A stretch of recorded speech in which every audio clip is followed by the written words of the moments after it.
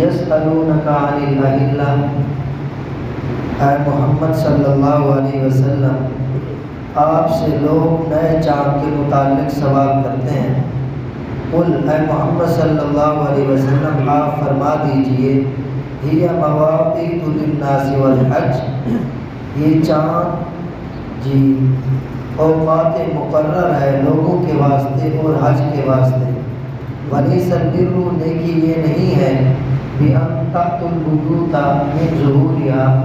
कि तुम घरों को आओ, उनकी पुश्तों की जानब से।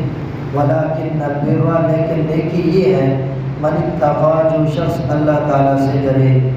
वक्तुलबूत मिन अबवाबिहा और तुम घरों को उनके दरवाज़ों की जानब से। वक्त और अल्लाह ताला से डरते रहो। लाकुम तुफलिहून, ताकि तुम अपने मकसूद को पहुँच जाओ। वफ़ातिलू फ़ी सबीलिल्लाह, और अल्लाह ताला की इताअत में, अल्लाह ताला की रज़ा हासिल करने के लिए जिहाद करो। अल्लज़ीन, उन लोगों से युक़ातिलूनकुम जो तुमसे लड़ते हैं किताब करते हैं।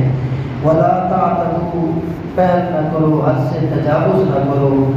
इन बेशक अल्लाह ताला ला युहिब्बु, पसंद नहीं करते अलमुअतदीन हद से तजावुज़ करने वाले। मेरे मोहतरम दोस्तों,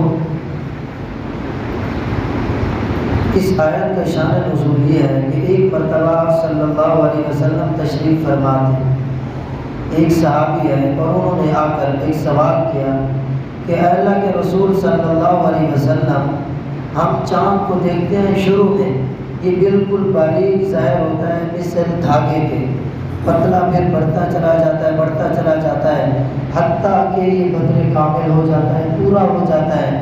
फिर उसके बाद फिर ये घटना शुरू हो जाता है घटते घटते फिर आखिर महीने के आखिर में ये झुक जाता है। फिर जब दूसरा महीना होता है तो फिर ये ऐसा ज़ाहिर होता है।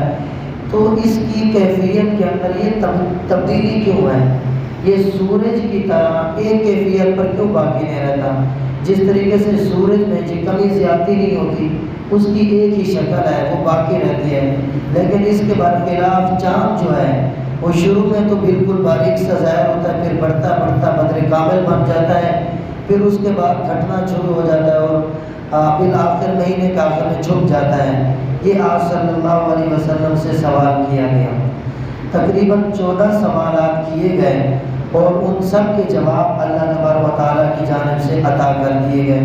एक पहला, इससे पहले सवाल ये किया गया वही बाती अल्ली फ़रीनी करीब। जब आपसे मेरे बंदे, मेरे मुतालिक, मेरी ज़ात के मुतालिक पूछें तो उसका भी जवाब दे दिया गया कि उनको कह दीजिए कि मैं करीब हूँ। और इसी तरीके से वयस अरून कानिल जिबात वयस अरून कानिल रूह। और भी काफ़ी सारे सवाल जी किए गए हैं। तो ये दूसरा सवाल है।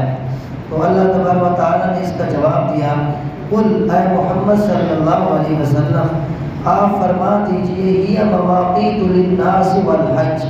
ये चाँद का घटना, ये चाँद का बढ़ना इसके अंदर अल्लाह तबारा ने हिकमत है, अल्लाह की हिकमत है और मसलिहत है। वो क्या हिकमत है? वो ये है कि औकात मुकर हैं लोगों के वास्ते, ताकि लोग अपने औकात को जी पहचान लें। अब पता चल जाए कि आज चाँद की पाँच तारीख हो चुकी है। आज चाँद की तीन तारीख हो चुकी है। अब महीने का इख्ताम हो रहा है।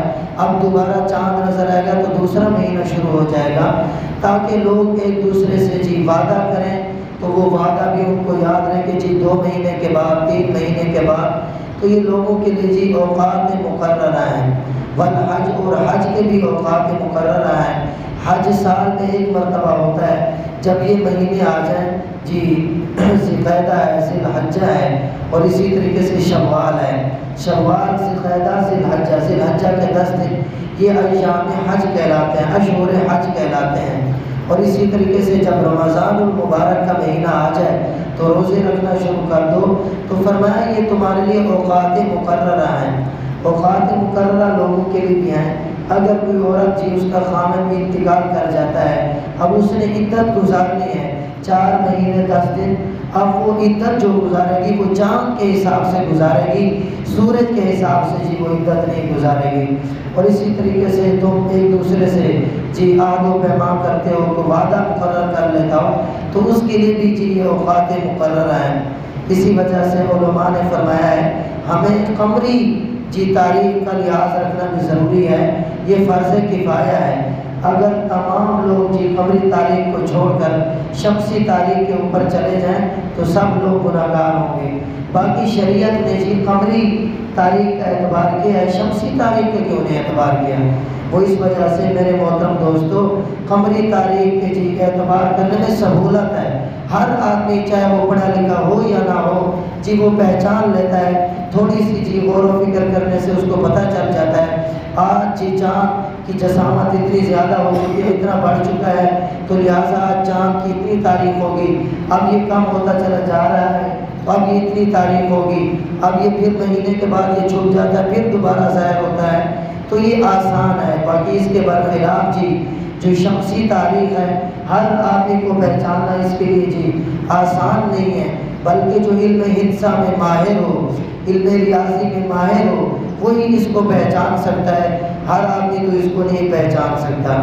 और फिर दूसरी, इसमें अल्लाह ताला की हिम्मत ये है, फलासफा जो थे, उनका ये दावा था, ये था कि ये जो अजरामी फलकियाँ हैं, जी इनके अंदर तगैर और तबदुल नहीं आता ये अपनी कैफियत पर बरकरार रहते हैं। अल्लाह तबार ने एक निज़ाम चलाकर बता दिया, हर के जैसा नहीं है, चाँद है, सूरज है, सितारे हैं, सब अल्लाह ताला के हुक्म के पाबंद हैं।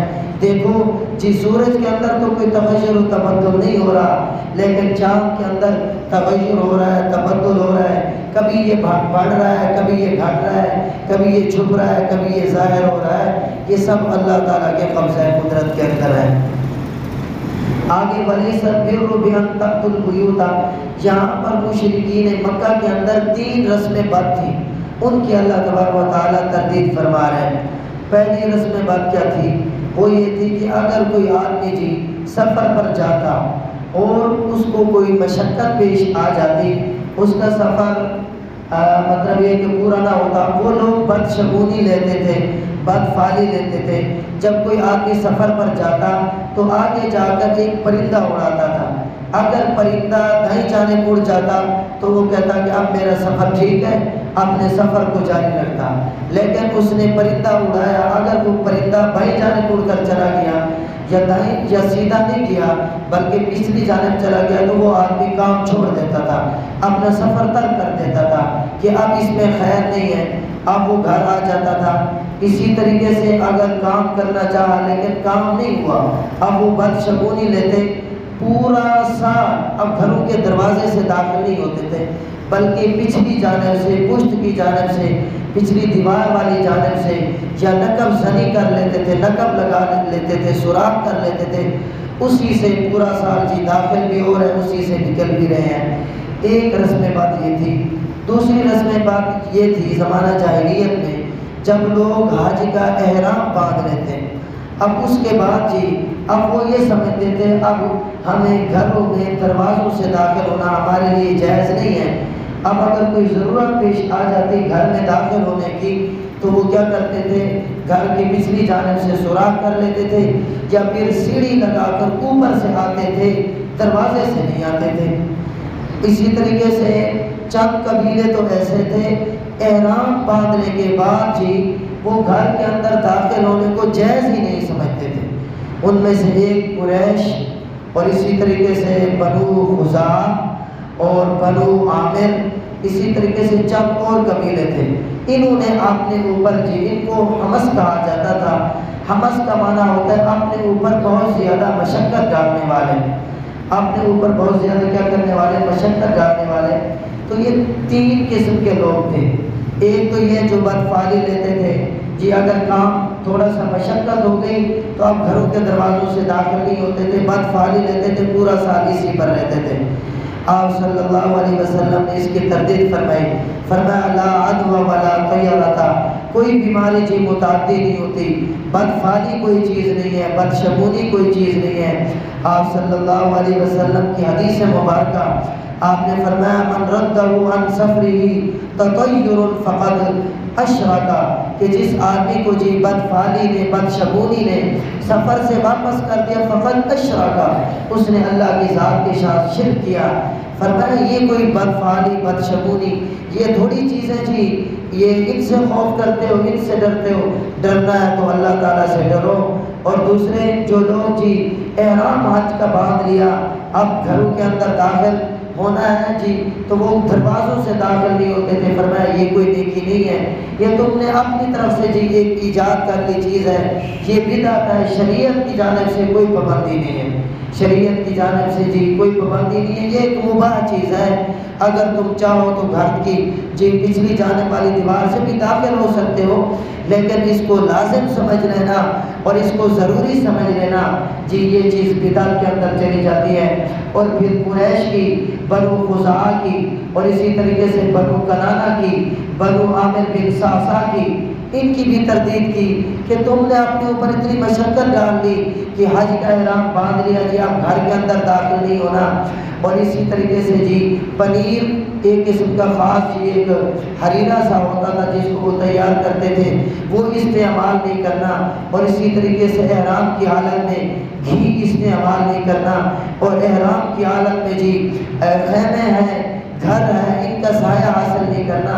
फरमाया ये कोई अल्लाह ताला की जानब से ये कोई चीज़ें नहीं हैं। ये तो तुमने अपनी तरफ़ से घर ली है। ये कोई नेकी नहीं है। नेकी ये है कि तुम अल्लाह ताला की ज़ात से डरो। अल्लाह ताला ने जिन उमूर से मना किया है, उनसे इजतनाब करो। अल्लाह ताला ने जी, अल्लाह ताला ने जिन जिन बातों का हुक्म दिया है जी, उनको बचा लो जिन मनहियात से रोका है, उनसे ही इजतनाब करो, ये नेकी है। फरमाया लोग आपसे जादू के मुतालिक सवाल करते हैं, ना जादू के मुतालिक सवाल करते हैं। आए मोहम्मद सल्लल्लाहु अलैहि वसल्लम, कह दीजिए, ये वल हज। ये चाँद अवकात मुकर्रा है लोगों के वास्ते और हज के। हज भी तब आएगा जब ये अशोरे हज आएँगे, तब हज फ़र्ज़ होगा। इसके अलावा पूरा साल हज नहीं होता। हज के औकात मुकर हैं। जिस तरीके से जी, रोज़े के अयाम मुकर है, रोज़े के लिए जी, रमज़ान मुबारक का महीना है, इसी तरीके से हज के लिए जी अशूर हज है।